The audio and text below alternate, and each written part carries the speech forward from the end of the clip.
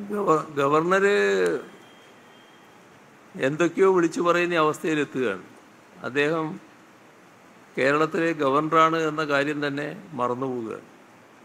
അതിപ്പോൾ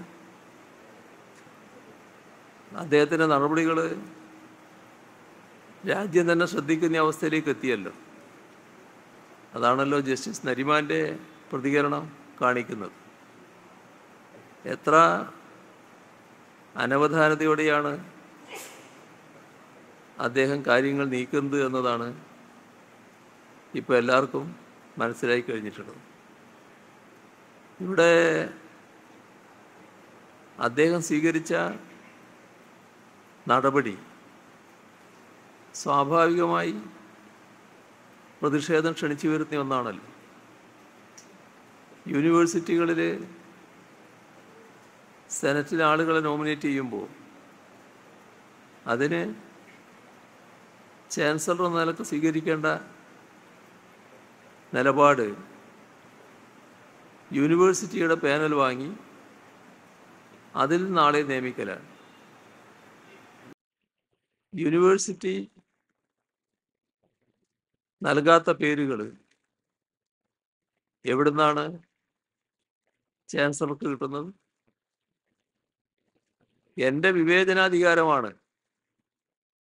എന്ന് അദ്ദേഹം പറയുമ്പോൾ ആ വിവേചനാധികാരം ഉപയോഗിക്കേണ്ടത് ഈ യൂണിവേഴ്സിറ്റി പാനലിലാണല്ലോ. യൂണിവേഴ്സിറ്റി പാനലിലെ പേരുകളിൽ നിന്ന് വിവേചനാധികാരം ഉപയോഗിച്ച് എടുക്കുന്നത് മനസ്സിലാക്കാം. എവിടുന്നാണ് യൂണിവേഴ്സിറ്റി അല്ലാതെ ഇദ്ദേഹത്തിന് പേരുകൾ നൽകുന്ന കേന്ദ്രമുണ്ടായത്? സ്വയമേവ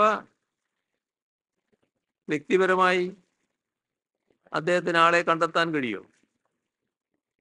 അപ്പൊ ഏതോ ഒരു കേന്ദ്രത്തിന്റെ സഹായം ഉണ്ടായി എന്നാണല്ലോ അത് വ്യക്തമാക്കുന്നത്. അത് മാധ്യമങ്ങൾ തന്നെ നേരത്തെ റിപ്പോർട്ട് ചെയ്തിട്ടുണ്ട്. ആർ എസ് എസിൽ നിന്ന് കിട്ടിയ നിർദ്ദേശത്തിന്റെ ഭാഗമായാണ് ഈ നടപടി എടുത്തത്.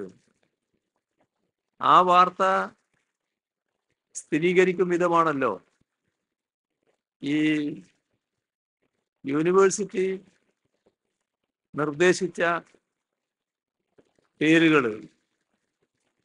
സാധാരണ നിലക്കുള്ള വ്യത്യസ്ത യോഗ്യതകളുള്ള പേരുകളായിട്ടുണ്ട്.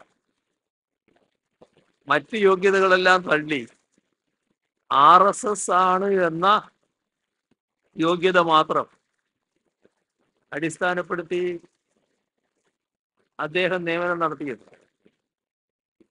ഇതാണല്ലോ പ്രശ്നം. ആർ എസ് എസിന്റെ നിർദ്ദേശമനുസരിച്ച് പേരുകൾ കൊടുത്തുവെന്ന് ആക്ഷേപം വരുമ്പോഴാണല്ലോ ഈ നിർദ്ദേശിക്കപ്പെട്ട പേരുകൾ അതിന്റെ ഏറ്റവും വലിയ യോഗ്യത ആർ എസ് എസ്സുകാരാണ് എന്ന നില വന്നിട്ടുള്ളത്.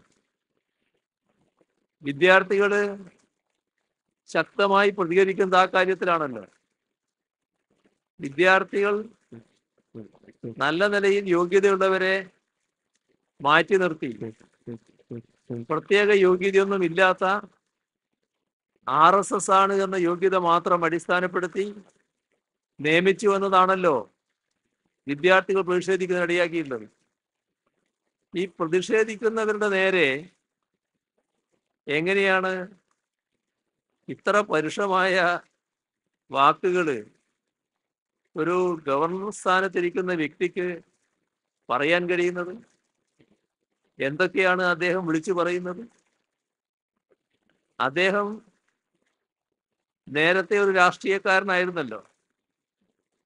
രാഷ്ട്രീയക്കാരനാവുകയും അതിന്റെതായ സ്ഥാനങ്ങൾ ഇരിക്കുകയും ചെയ്താണല്ലോ അദ്ദേഹം ജനപ്രതിനിധിയായിട്ട് മാ ഇരുന്നിട്ടുണ്ട് മന്ത്രിയായി ഇരുന്നിട്ടുണ്ട് ജനങ്ങളുമായി ബന്ധപ്പെട്ട് പ്രവർത്തനം നടത്തിയിട്ടുണ്ട്.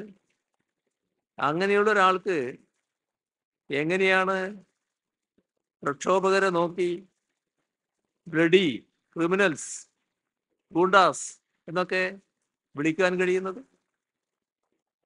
അങ്ങനെ ആ രീതിയിലാണോ ഒരു സാധാരണഗതിയിൽ ഒരു പൊതുപ്രവർത്തകനായിരുന്നയാൾ പ്രക്ഷോഭത്തെ സമീപിക്കേണ്ടത്? എത്ര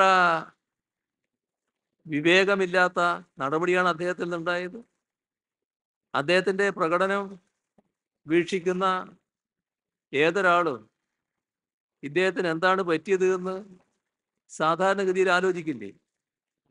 ഏതെങ്കിലും ഒരു ഉന്നത സ്ഥാനത്തിരിക്കുന്ന വ്യക്തിക്ക് പറയാൻ പറ്റുന്ന വാക്കുകളാണോ അദ്ദേഹം പറഞ്ഞത്?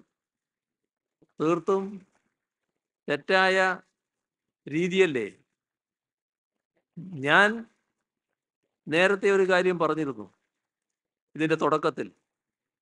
അത് കേരളത്തിന്റെ സമാധാനപരമായ അന്തരീക്ഷത്തെ തകർക്കാനുള്ള ബോധപൂർവമായ നീക്കമാണ് ആരിഫ് മുഹമ്മദ് ഖാൻ നടത്തുന്നത്.